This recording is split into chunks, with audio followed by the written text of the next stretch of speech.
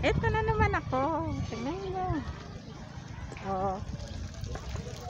Oh, di ba may naliligo? Dito pa rin to, papunta San Carlos na. Umikot kasi kami, papunta kaming Lacanlaon. Paikot to. Dito kami dumaan kasi para makapag-vlog ako. Kahit pa paano, wala na ako na iba-vlog.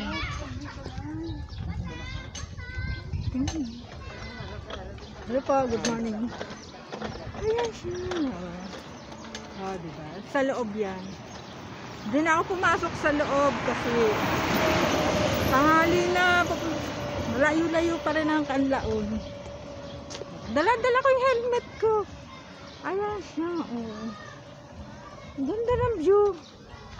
Oh, di ba? Namamasya lang.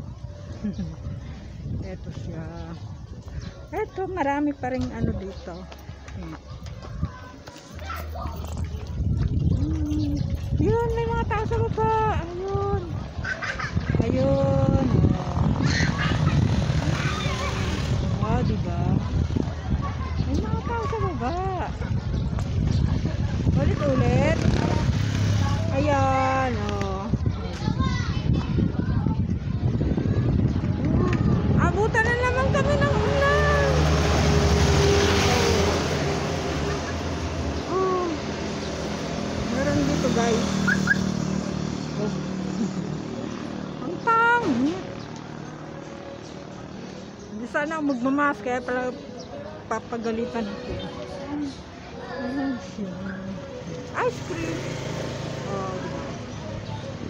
Ay, ayun. May sila. Ang ganda nila kasi may sarili sa CR. Oh, tapos ito. Pwede din dyan.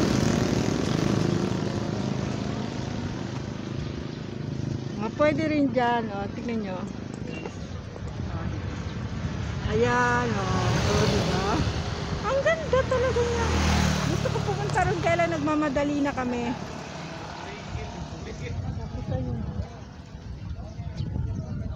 Tutulay ka lang sa kawayan.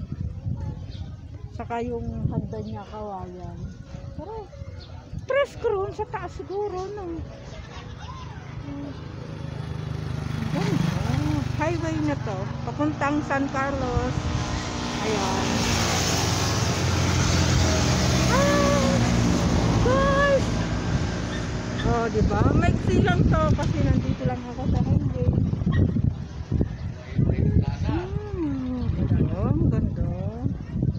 Kawawa na naman siya. Mga kawayan siya, yung duyan kawayan. Sige.